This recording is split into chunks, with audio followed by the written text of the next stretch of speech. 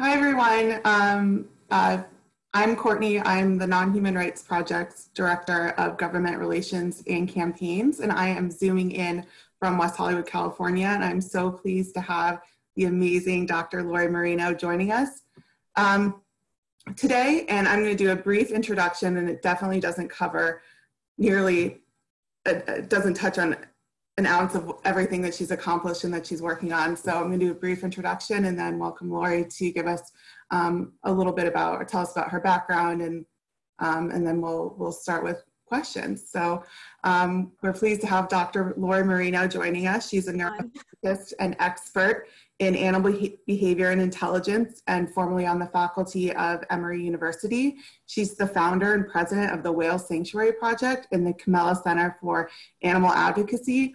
Lori received her PhD in biopsychology from the State University of New York at Albany and is internationally known for her work on the evolution of the brain and intelligence in dolphins and whales.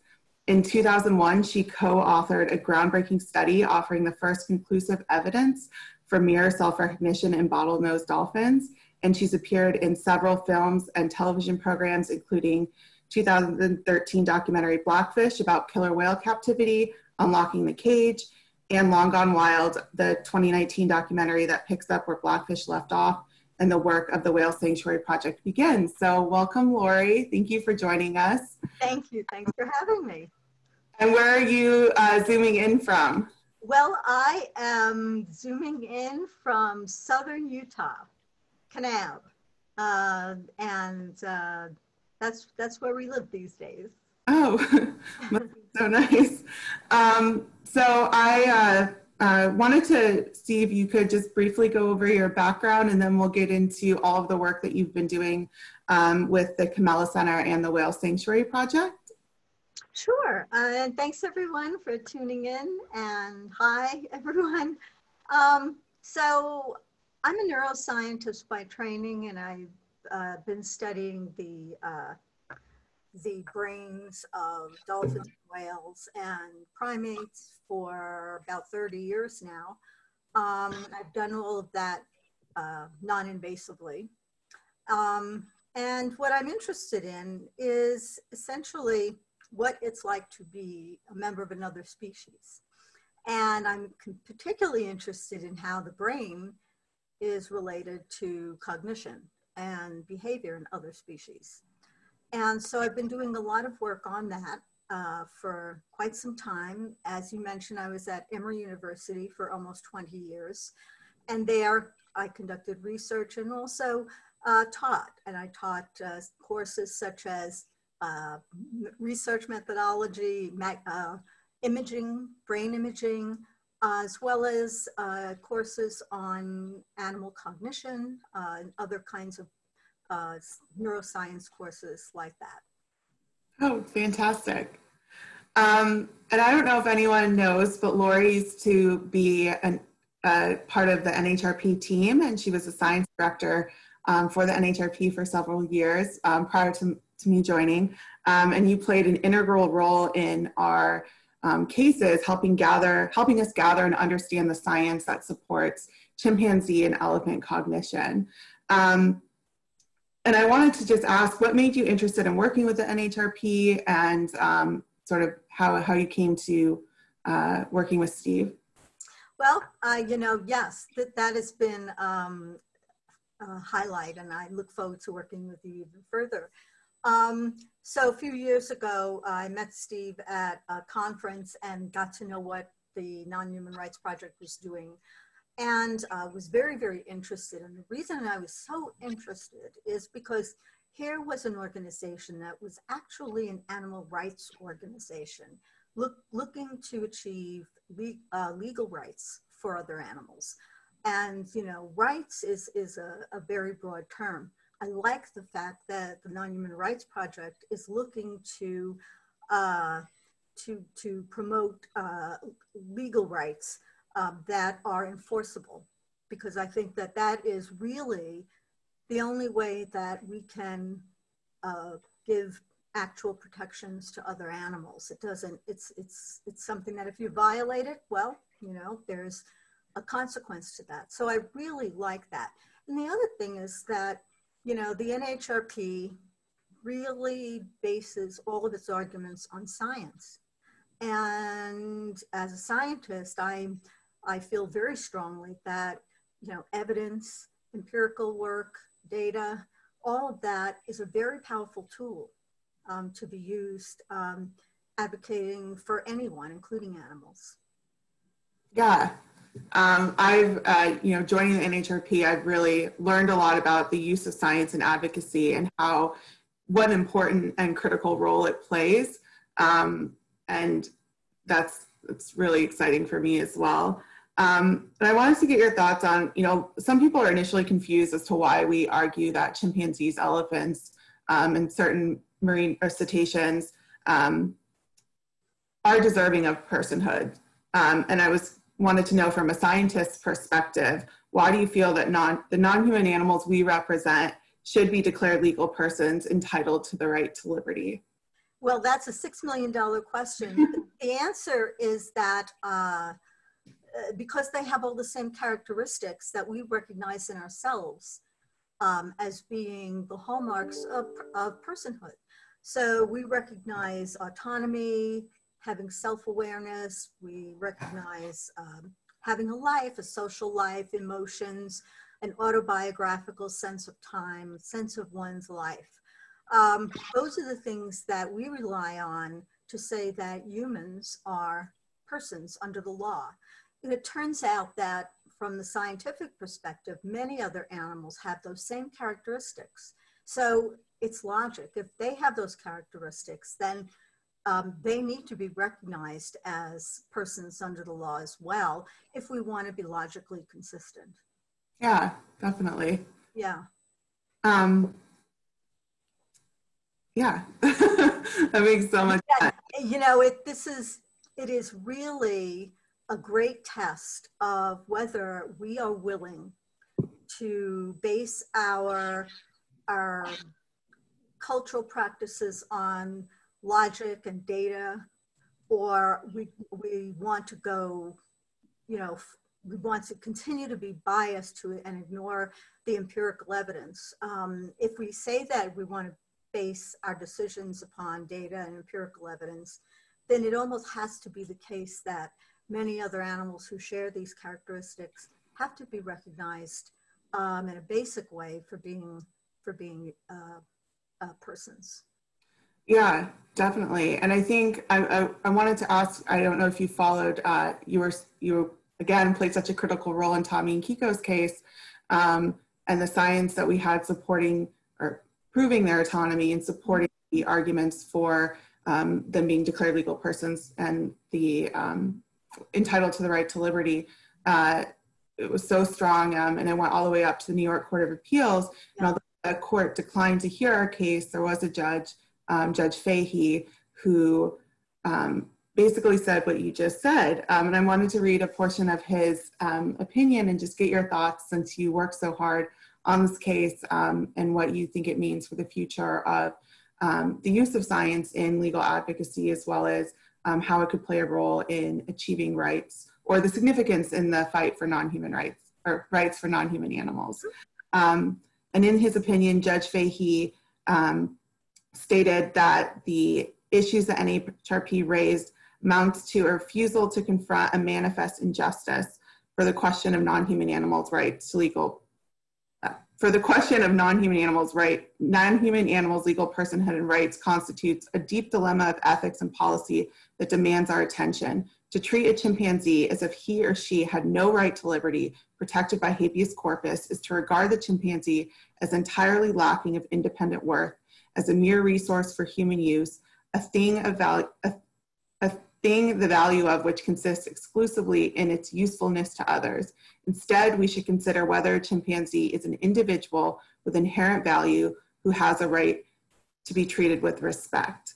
Um, and then he ends with saying, while it may be arguable that a chimpanzee is not a person, there is no doubt that it is not merely a thing.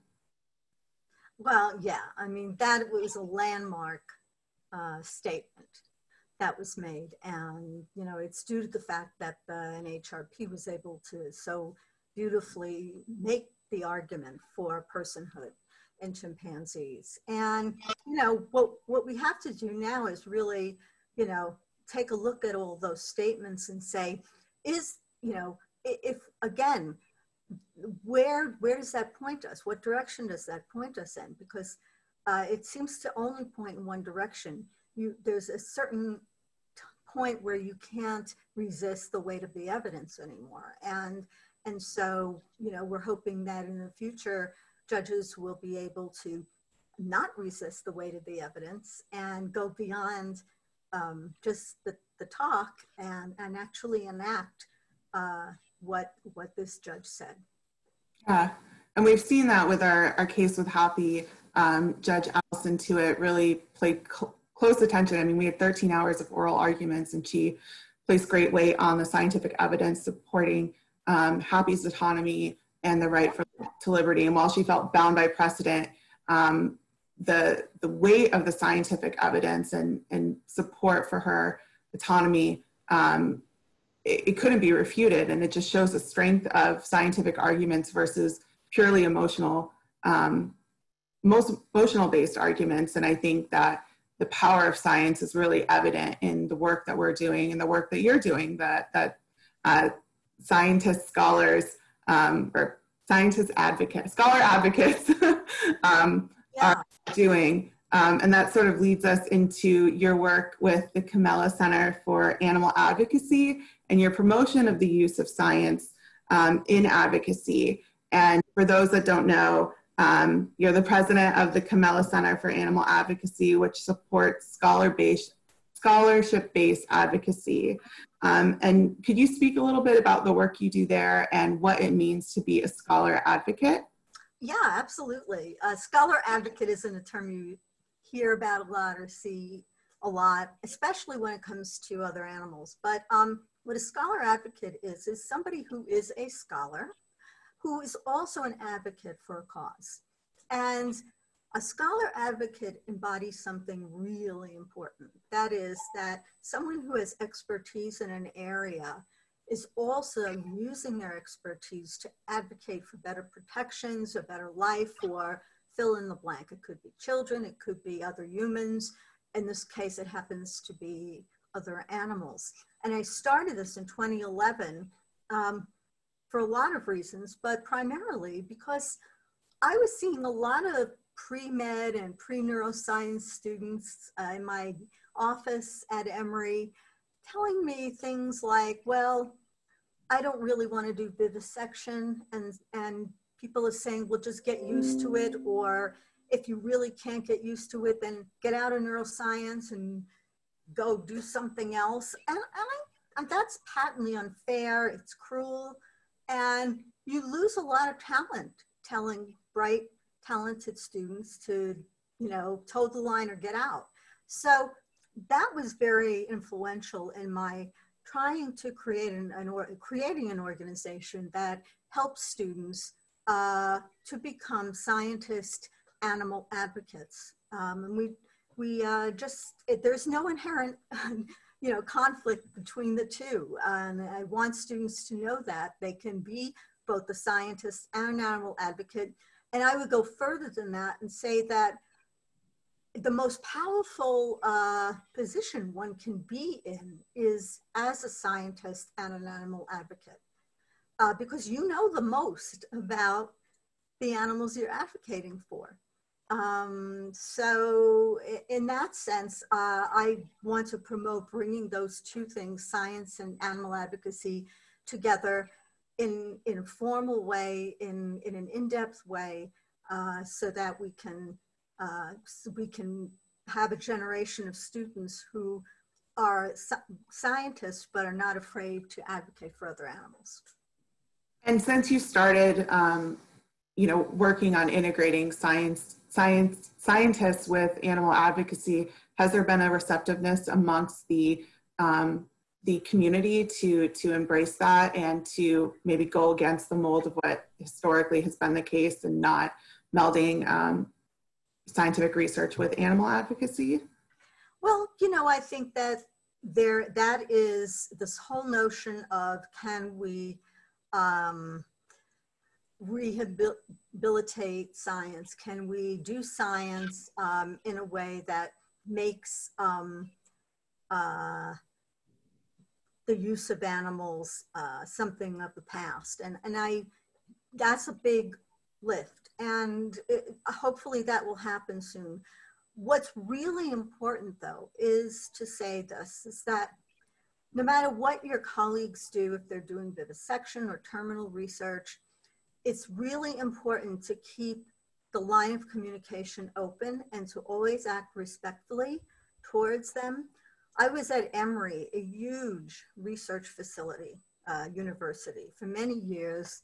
They have uh, chimpanzee research going on there, all kinds of things. And actually, um, I always maintained um, um, an open relationship with my colleagues, even those who were doing work that I would never do and that I want to see change because because that line of communication is really important.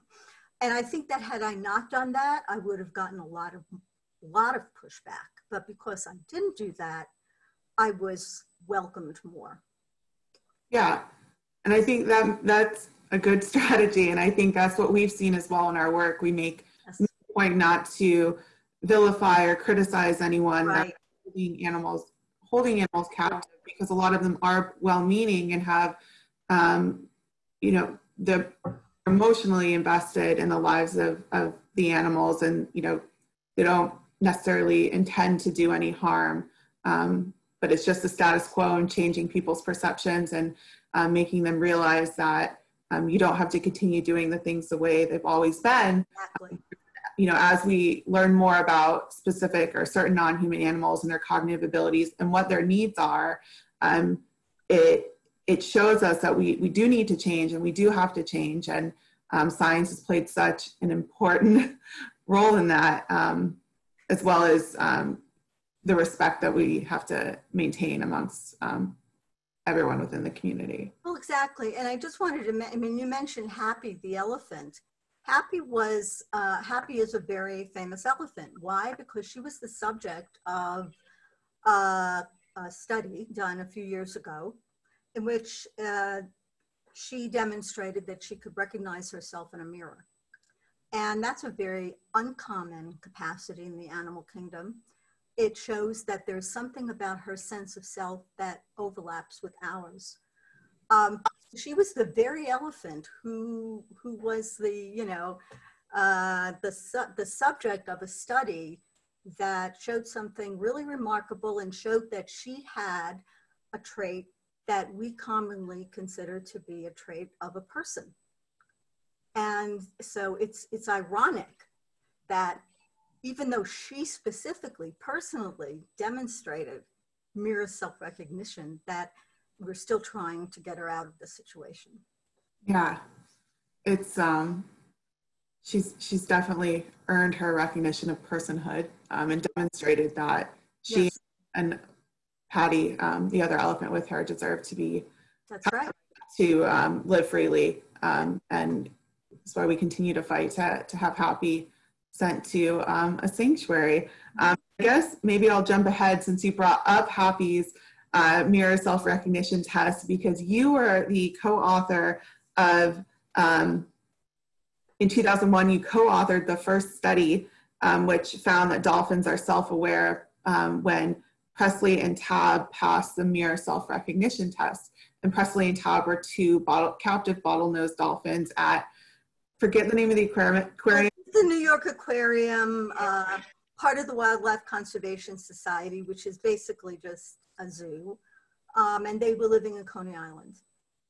I, I didn't even know they were part of the Wildlife Conservation Society because the Wildlife Conservation Society also owns and operates the Bronx Zoo where Happy is. Exactly. exactly. So, um, Same organization. so, and they're still holding, I mean, yeah. um, but uh, do you, would you be able to speak a little bit about what what made you want to do that study? Um, what the I mean, we know what the findings were. Um, maybe speak a little bit about Presley and Todd and what how their story um, impacted your um, career tra trajectory and um, uh, advocacy for animals. Yeah, well, when I was a graduate student, uh, my, my uh, PhD advisor was Gordon Gallup. And he was the first person to show that a non human being could recognize themselves in mirrors. And he showed that in chimpanzees a long time ago.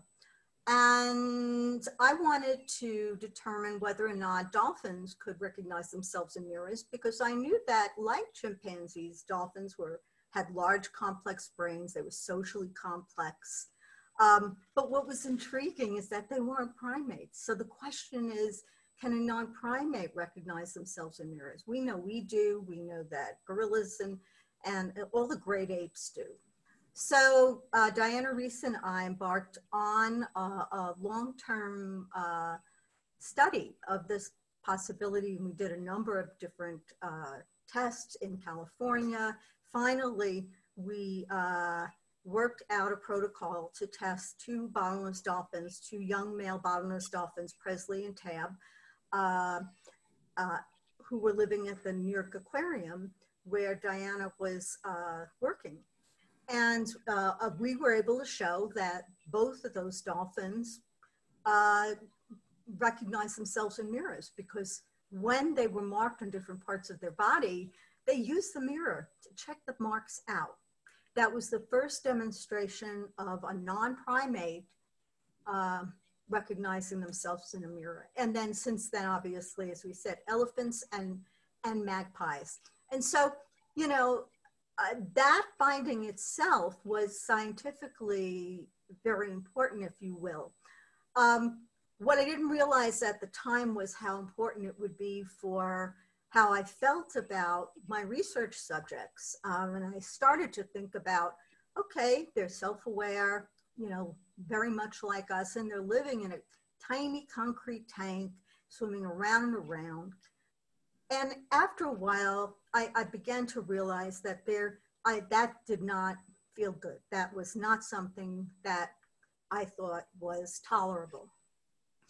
And Presley and Tab uh, were young they were a couple of years later sent to other facilities, and I found out that they died of infections um, in, in marine parks, one in Florida and one somewhere else, I don't remember. And that really hit me hard because I began to realize, oh my gosh, everybody's celebrating Presley and Tab for the scientific finding, but the real story is not just the scientific finding is the two dolphins who demonstrated this.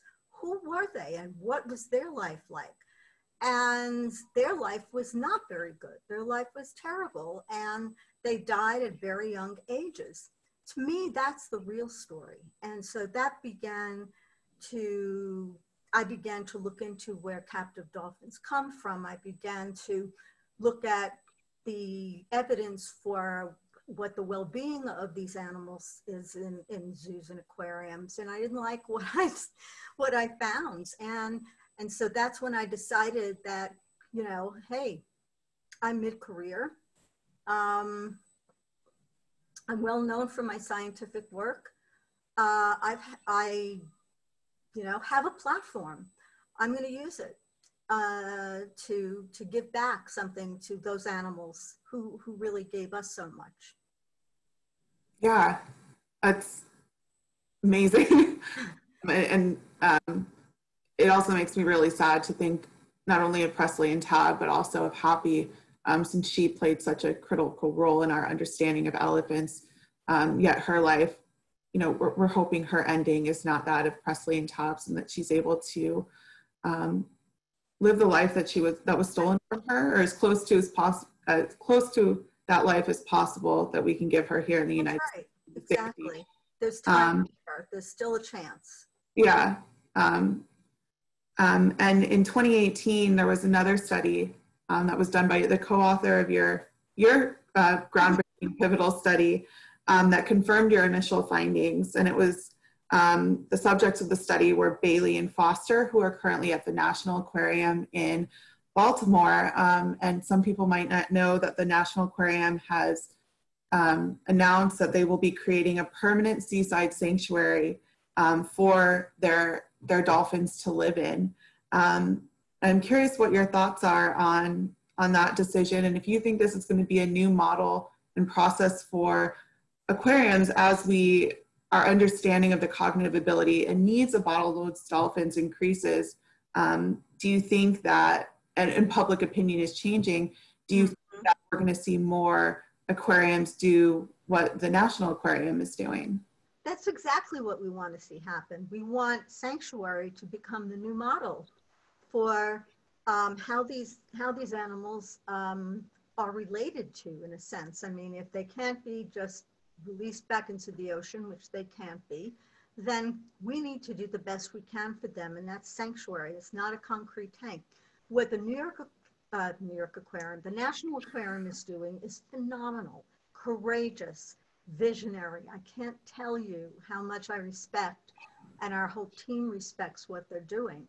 Um, and we talk to them quite often uh, and we share ideas because this is all a new concept, uh, cetacean sanctuary. And very few people are even considering something like this. And so I'm really honored uh, to be, you know, working uh, and sharing ideas with them as we go forward. So yeah, they, they really, they really are walking the walk. Yeah. Mm-hmm. It's amazing. And it, it, it gives hope that the other aquariums and facilities that are holding marine mammals captives will, will follow their lead and start working to um, send their uh, cetaceans to seaside sanctuaries. Yeah, it's proof of concept, you know, I mean, because this is a novel idea. Um, but, you know, the fact is, is that it, sanctuaries for any kinds of animals were always a novel idea until they were until they happened and were shown to be successful in many cases and so you know if if people really knew what was going into um, what that what the national aquarium is doing to prepare their animals to look for a, an ideal site and all the things going forward that they will do to ensure that, that, that those dolphins are happy and healthy. And what we're doing for belugas and, and orcas in our sanctuary, we'll talk about that. Um, I think people would feel more at ease that this is not, this is something that is being driven by science. It's being driven yeah. the well-being of, of those sanctuary residents. Definitely. Um, and, and before we go into the whale sanctuary projects, I know I think that's what so many people are excited to hear about because it's it's such an amazing breakthrough and um, that you've already found a location is, is so um, exciting. But um, if we could, since you are an expert in um, marine mammal uh, cognition and behavior, um, and we, we talked a little bit about bottles, bottlenose dolphins, but maybe we can go into um, you know, orcas and belugas have been shown to have extraordinarily complex cognitive abilities. And if you could tell us just a little bit about um, what we what we what we know about orcas and belugas now um, about their cognition and behavior and why they um, cannot those those behaviors and needs um, cannot be met in in captivity or in places like aquariums. Yeah, sure. I mean, orcas and belugas are both extraordinarily intelligent. And that's, we know this from both looking at the neuroanatomy of individuals who have passed away and we get to a chance to image their brain, take a look at their brain, look at the size of different components of the brain and so on and so forth. We've done a lot of analyses like that. And their actual behavior, not just in captivity and some of the cognitive work that's been done, but what they do in the wild um, which is extraordinarily complex. They have culture. They have cultures, uh, meaning that different groups have different ways of doing things, and those cultural traditions are passed on from one generation to the next. They have different dialects, different ways of feeding, different ways of doing lots of things. They are also um, uh, animals who spend a long time learning how to be who they are, just like us. They have a really long juvenile period. And so their, their behavior is based upon learned culture. Their communication systems are so complex that we really don't really have much of an understanding of, of what's going on because we've only we, we've gotten the tip of the iceberg. These are animals who also can imitate vocally and behaviorally. Um, so, you know, everything that we think about when we think about, well, what does it mean to be intelligent and complex and socially complex? They have those characteristics. The other thing that's really interesting is that both orcas and beluga whales um, have menopause. And that's really interesting because not many other animals um, go through a menopause. And by that I mean older, in, older females stop uh, giving, stop reproducing personally and they, they take on the role of the leader of their, their group. And they start, um, they, they whatever they do is for the benefit of their children and their grandchildren and the younger generations. Um, and, and that's something that, you know, you find in elephants, you find in a lot of human communities, and you find in, in very um, complex intelligent species who have to pass on a lot of information from one generation to the next. That's so amazing. Um, and I think again, I feel like I keep saying this. It's also sad to think about how that those um, well, well, yeah. Behaviors are just completely cut off when they're in aquariums, whether it's them being housed alone in a small um, concrete pool, um, the, the, separating them from their the wild captured orcas and belugas who have been separated from their pod, and also those that are um, captive bred and, and captive born that are separated from their familial units and they're never really able to, to be in a pod or the normal social structure. Um, when you know about that, when you know about how, how complex they are, then you fully understand why living in a tank is not going to be something that is tolerable. Um, they don't have any culture in uh, an artificial setting. They don't have any place to go. They don't have anything to do. They don't have anything to pass on through learning. Um, and they are literally just artificial collections of individuals who are thrown together, take, ripped apart, thrown together, ripped apart. And that, that is, I mean, so, so really at face value, all you really have to do is look at how do they live in the wild and how do they live in a concrete tank in a marine park? And the difference is striking. But if that doesn't convince you, then we have a mountain of empirical evidence to show that their well-being is incredibly poor in concrete tanks. Yeah, I think, I mean, Blackfish and the Cove are so pivotal too, and really highlighting the, the, the just very obvious problems with keeping marine orcas and dolphins um, and I'll throw belugas in, even though they weren't covered in in captivity in places like marine parks.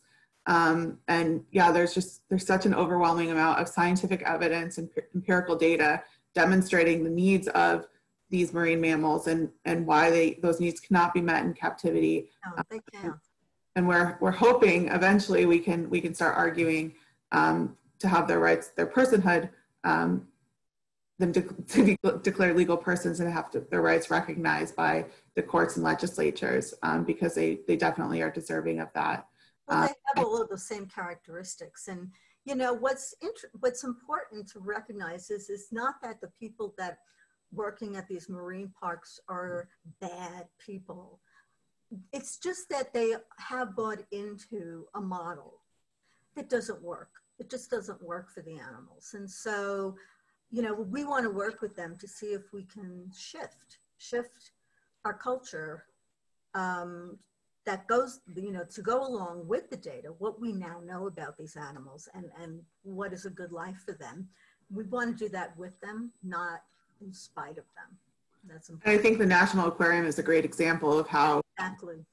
you know, the, there is recognition amongst the community that there does need to be a change um, and they can meet the needs of the animals they're currently holding captive um, by open or you know, the creation of seaside sanctuaries that allows them to engage in their innate and natural behaviors and, and hopefully build that social structure back. Um, yeah.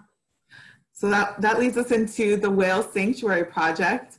Um, uh, I don't know if you want to talk a, a, little bit about what prompted you to to to start it um, and sort of where you're at right now, because um, I know there you announced, uh, I think a couple months ago, some exciting news that you have set um, settled on a location and found where you'll be creating the first um, seaside sanctuary in North America for orcas and belugas.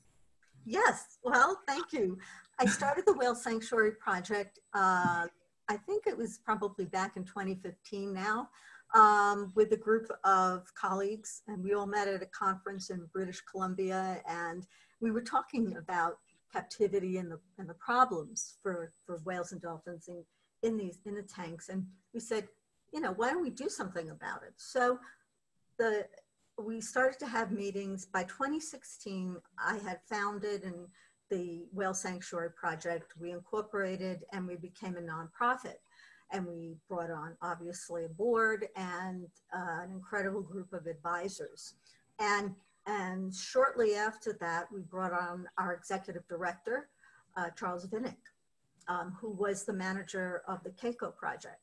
Um, and we've got a phenomenal team, uh, people who, who do know how to do this. So the, the thing about such a project is it's so complex. You have to realize what you know and what you don't know and then find the people who know stuff that you don't know and find the best people you can to do this. And I truly believe that that's what we've done. So we've spent the past two and a half years looking for a site uh, for the first permanent sanctuary for belugas and orcas in North America. And we were in British Columbia and in the San Juan Islands in Washington. And then we also were looking in Nova Scotia, both, both uh, coast. And uh, we spent a lot of time in incredibly beautiful areas, but it's a lot of work too. Um, we finally, finally found a beautiful, a big, beautiful bay on the eastern shore of Nova Scotia called, called Port Hilford, um, which is adjacent to a wonderful community of people. Uh, it's the town of Sherbrooke, and between the beautiful, you know, the, the physical characteristics of Port Hilford and the, the fact that the people of Sherbrooke uh, was so welcoming and so interested in working with us to make this a reality. Uh, it was clear that that is that was the place we chose we needed to choose. So in February in Halifax we had a press conference and we announced that Port Hilford was our, our site and now we're raring to go. so we really, you know, um, obviously there have been some pretty awful things that have happened in the world since then, and we're all still hunkering down. Um, but we hope to get back to Nova Scotia as, as soon as we can. Um, and in the meantime, we're working hard on everything we can do to prepare for that. Uh, having meetings over Zoom um, and collecting data and, and doing everything we can so that we, we don't lose that much time. Yeah, that's so, so exciting. Um, I was wondering if you could explain a little bit, I just looked this up, what a seaside sanctuary looks like, um, like uh, how it's set up so that uh, sort of what, what, what, it, what it will look like, because I think it's, it's sort of hard to imagine how, how you create something like that. Well, it's hard to imagine because it's, it's you know, it's, it is a, it's a huge, a huge task. So, you know, we can, sometimes people mistake the, this for a, a sea pen, but a sea pen is really a, just a small enclosed area. It's a tank in the ocean. What we're look, talking about is something orders of magnitude larger than this. Um, in fact, our sanctuary is going to provide 300 times the space of the largest tank for dolphins and whales in the world. And although that's nowhere near what they need, if they really should be out in the ocean, it is so much better than what they have now. I mean, it's literally orders of magnitude. So it will provide the space that they need to spend their day the way they want, to swim, to play. It'll be in the ocean, so it'll be a, a fenced off part of the bay. Um, it'll be deep enough so that uh, netted off part of the bay. It will be deep enough so that they can explore the bottom and the fish that come through the, the bay. It'll be large enough so that if they want to separate, they can. Um, they want to swim in a straight line, they can. Um, what we're trying to do here is replicate as much of a natural environment as we possibly can. Um, and it, it, the fact is, is that we can do that a lot better in, a, in the ocean than we can in, in a concrete tank. Oh, definitely. Um, do you have any potential future residents identified? I don't know if you can speak about that. Um, uh, well, uh, we no, we actually don't. But well, I also wanted to mention that the other thing is we're going to have um, different places where um, the whales can go. We're going to have a full service veterinary staff and facility, an interpretive center. We're going to have all the good stuff um, that they have in the marine parks, but we're going to have more. And that's that's the thing. It's we're not giving up um, the ability to care for the animals, to feed the animals, to have you know. I mean, we're, we're actually adding to the equation. Um, but as, as far as who's coming in, we literally don't know yet. Um, we are keeping lines of communication open with facilities who have belugas and orcas. And, you know, we continue to uh, hold, hold conversations. Everybody knows what we're doing and what we're trying to do and we're very willing to come to the table and have a, an honest, uh, serious discussion about how we can do this together. I, I would imagine being located in Canada, you um, it's um, probably it's a lot not easier, but people are a lot more receptive because Canada passed Bill S203, which banned the keeping of cetaceans in captivity. And I know I want to give people time for Q&A, but you were really involved in that, um, at least yeah. in um, using the science to support um, or, or, to demonstrate why um, their needs cannot be met in captivity. Um, and I was just curious, like if, if you had a warm welcome in Canada. I, mean, I know you said in, in uh, Nova Scotia where your, your sanctuary will be based, but um, since the the national opinion on the keeping of marine mammals in captivity is, has shifted um, in the nation.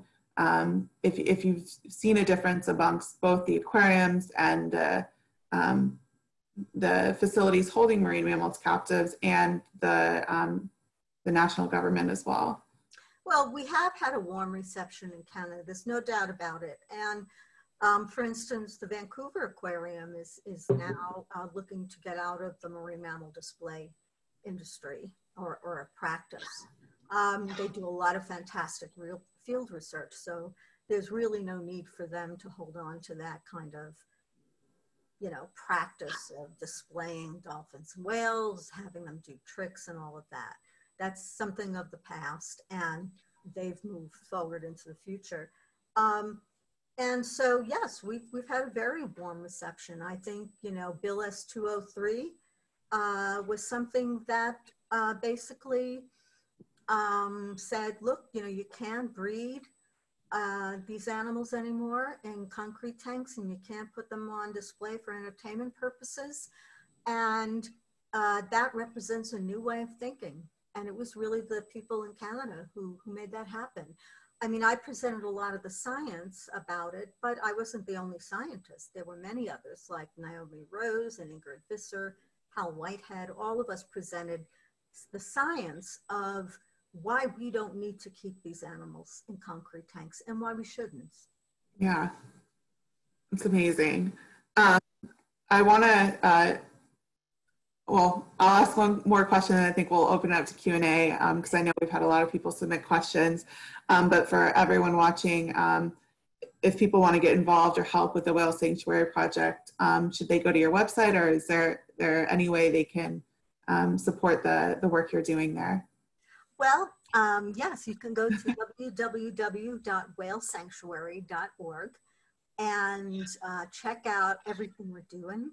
Uh, our whole team is there uh, with their bios, updates on what we're doing. You can see the actual bay that we're going to create the sanctuary in.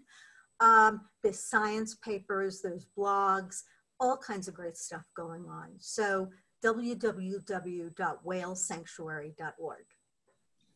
Great. Um, so definitely check that out. And um, when we, we'll send an email around um, and post on our blog all the information about the Kimmela Center for Animal Advocacy as well as the Whale Sanctuary Thank Project, you. so you can Yeah. check it out. And you just had a great short film that was uh, screened at the Santa Barbara Film Festival, and um, I know it's on your website. So there's a lot of great, great, great uh, work and, and information that's available. Yeah, yeah. Vicky, do you want to start um, asking or Lori the questions that people from the audience have uh, submitted?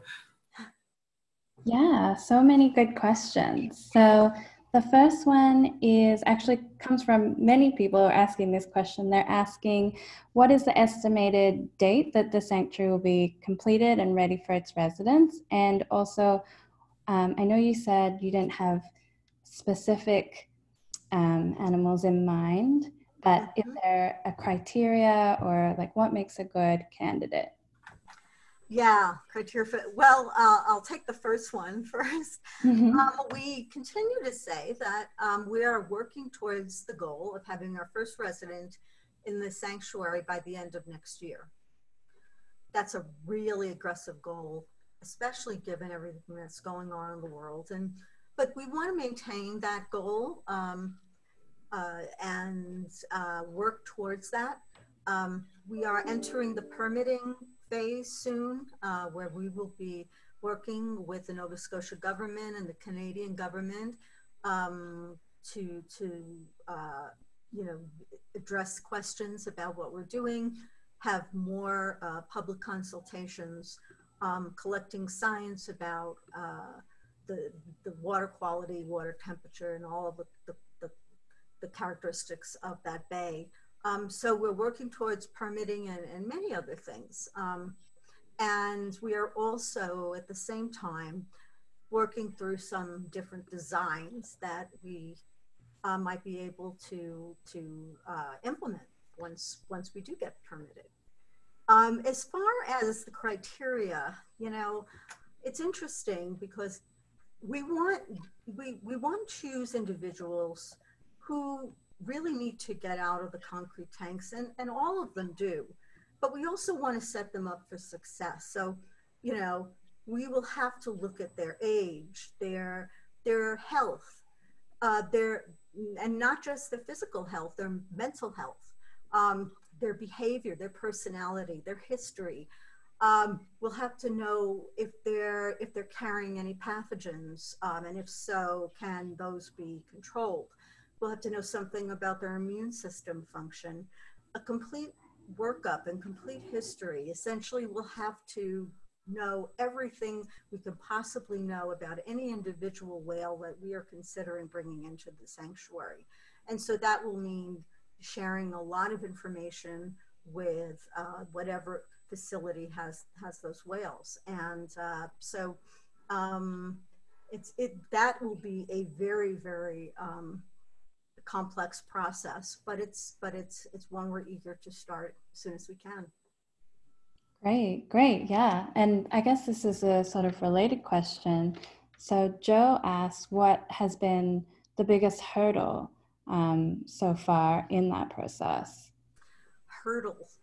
Uh, in terms of, uh, well, I think the hurdle is is um, getting the display industry to come on side and to uh, to want to work with us to provide a better life for the animals. They, I don't doubt that they think that they are providing a good life, but I, but I, that the science tells us otherwise, and we want to work with them, not against them. So um, that big hurdle is getting uh, the people who run these entertainment parks uh, to sit down, talk to us, and take a leap of, of faith and and work with us uh, to create something something new.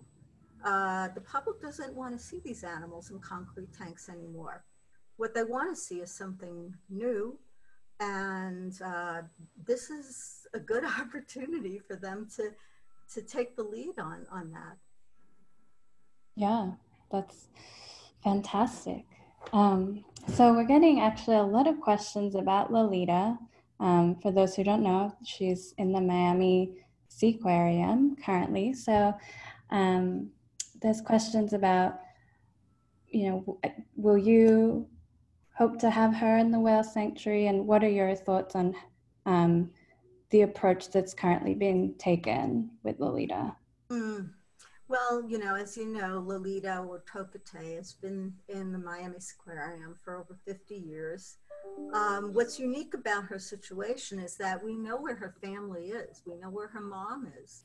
We know where, where her pod is. Um, they're still living in the San Juan Islands in the Pacific Northwest. So we know she's a member of the Southern resident community there. Mm-hmm. Um, and so that's something that's very unusual. Most captive orcas are born into that or we just don't know you know we can't find their their their family. So that's a compelling piece of the puzzle right? We know where her family is. We know where she was taken from when she was about four years old. Um, but you know and we have actually uh, been very involved in, in talking to people in in that region uh, including first nations the lummi um, and we've said, look, if she is eligible for transfer, we will work with you to try to create a home for her um, in in her in her homeland, as it were, a sanctuary, a, a mm-hmm. place for her. Um, so we need to know if she is a good candidate in terms of her health and all of that. And but we would stand ready to help. Um, we would probably not bring her to our sanctuary, given that we know exactly where she is and if she was going to be released, we should at least put her in a place where she has a chance to see her, her family again. That's that's so exciting if that could ever happen. I know. I know. I'm, I'm yeah. Yeah just certainly a, a little uh, tear. Yeah. um, so here's a sort of scientific question. Um, so wild orcas encountering humans react to to us in a curious, sort of friendly manner. And what is that? What might that indicate about their cognition, and how might that work um, as an argument for, I guess, the NHRP? Well, you know, when you talk about intelligence and having cognitive wherewithal and uh, certain species having the ability to understand the consequences of their behavior, um, certainly orcas um, have that capacity. Um, they seem to be, when they're allowed to live their life the way they want to live their life, animals who um, really are not very uh, violent towards each other or humans. Um, they're very cultural. They have they adhere to their cultural traditions, whatever they may be. Um, and so, I mean that that has all the hallmarks of uh, an of, of species that is capable of of of in a sense social rules, social mores, social uh, traditions, understanding the consequences of their behavior. So they're a lot like us in that way. Um, in fact, but they're actually a lot more rule observing than than we are. Um, uh, and it's only when they're actually put into these unworkable situations, like living in a concrete tank for decades, that they tend to do, they become hyper aggressive sometimes and they just mentally break down. Um, but these these are animals who who have a way of life and and know it. And that is an important element of being a person. Right. That's so interesting. Um, so here's a question from Lahu, and he asks, um, with your sanctuary, will there be any attempt to try and get the residents into a position where they could be released back into the wild? Um, no. And the reason is because, as I mentioned, for the vast majority, with the with the exception of maybe a handful at most of orcas living in concrete tanks, there is no going home because mm-hmm. they didn't come from someplace. They don't have a social group to go home to. And the social group is everything for orcas and many other cetaceans.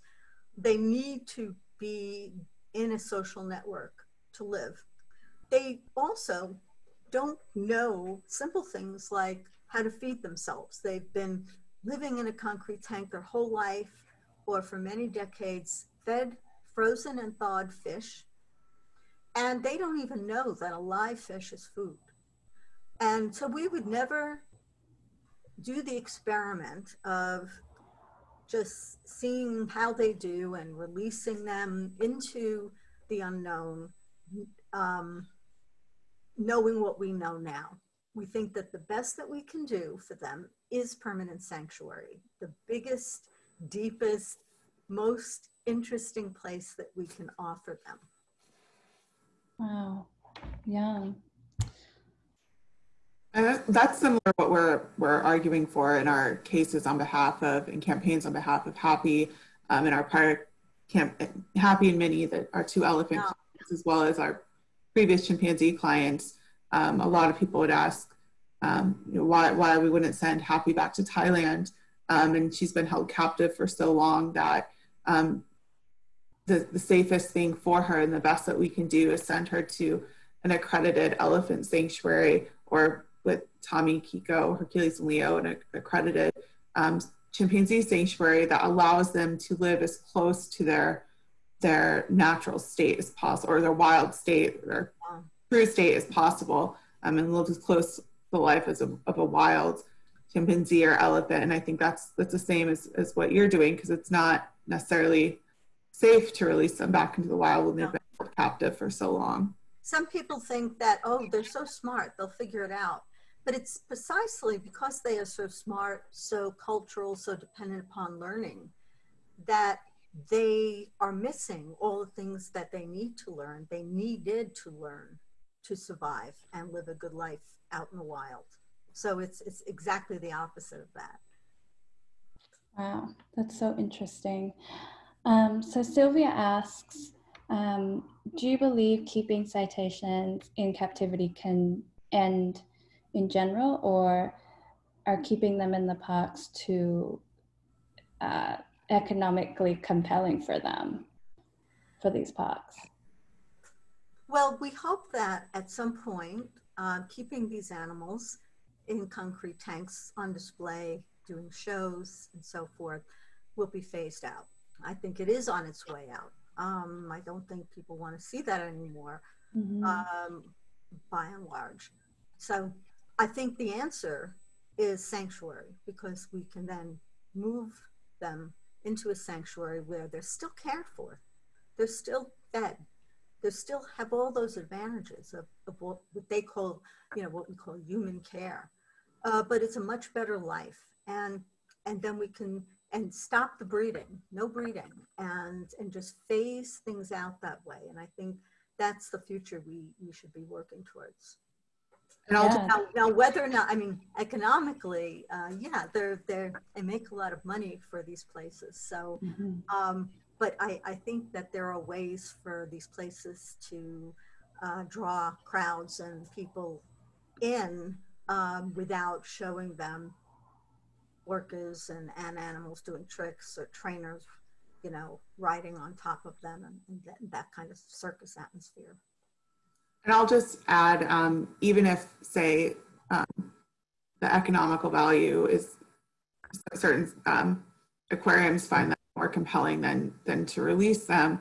Um, states like I'm very proud of my state of California have now banned the keeping of orcas in captivity um, and, and ended the breeding. So even if they were to want to continue to hold them captive, um, states are, are recognizing that it's it's no longer, you know, because of the science, um, you know, it's no longer acceptable to to force them to live in captivity, um, and so they have to be phased out. And um, I'm hopeful that other states will start to introduce similar similar introduce and pass similar legislation, and hopefully um, we can follow up or preempt that with the recognition of their um, right to liberty and to not be held captive. Right. Yeah. Great. So I think we have a um, have time for one more question. So this is a question coming from. Oh, there's no name, but anyway. So uh, they ask the general population receives um, education on cetaceans in marine parks. Um, if they're taken out of these settings, what are your recommendations on replacing that um, education to the general public? Well, that's a really good question. I'm glad this person asked that because although it has been claimed for many years that going to see dolphins and whales and shows or animals in general uh, on display is educational, there's really no evidence for that. Um, I've done a lot of the work to show that that's the case. If you really look at that claim, they're not based upon a lot of data that show that when you see a dolphin or a whale in a show, or you feed them, or you swim with them, and so forth, that you come out of there um, uh, being a whole lot more educated. I mean, you might remember a few facts here and there, but it doesn't last. And it certainly does not um, translate into conservation ethic, which is, I think, is what zoos and aquariums want to do, right? They figure, well, we're educating people about elephants, um, and because then they can go out into the world and protect them. But there's no evidence for that. So, so that is a claim in search of evidence. Um, what we want to do with the sanctuary is tell the story of the residents and why they are in sanctuary. And we can be authentic about it. We don't have to pretend the animals are happy and healthy, performing in a concrete tank. We can say, look, they're living here because this is what they need and this is what we're giving them. And this is what all dolphins and whales should have. And then we can use that as the opportunity to really educate about the oceans, about the animals who live in the ocean, why it's important to protect the oceans uh, for the animals who, who live in them. So it's a much more authentic platform from which to do real education. You can't do education from a situation where it is set up so artificially. It just doesn't work. And, and again, um, as it sounds really good, you know, to say go, your kids will learn and become wonderful animal advocates, but it's a, that's a very thin mm. claim. Right. Yeah, absolutely. Um, so I guess we're about to wrap up. So Courtney, do you have any last words or Lori, any any? I just want to thank Lori so much for coming on and, and talking uh, so eloquently, much more than I could, about um, the scientific support for uh, non-human animal rights um, and the evidence supporting their autonomy um, and and why they should be declared legal persons um, and the amazing work that you're doing um, with scientists and scholars at the Kimmela Center um, and also about the Whale Sanctuary Project. So I just want to thank you so much for coming on here and talking about that and also for all of the work that you've done and the advancements you've helped make in the fight for non-human animal rights. Um, and if there's any um, thing you want to close out with, um, we'll put links to all of um, Dr. Marino's, um, the, her organization's uh, social media, their website, um, so you can learn more about um, the work uh, that she's doing. Well, thank you so much for having me. This has been a lot of fun. Um, I thank you for the great work NHRP is doing and continues to do. Um, and if anybody has further questions or comments, you know, you can reach me at info at whalesanctuary.org. Um, I answer everything. And um, I really appreciate everyone taking the time to discuss all of these issues. Fantastic. Thank you so much. And thank you everyone for tuning in. Thanks so much. Thank you. Bye.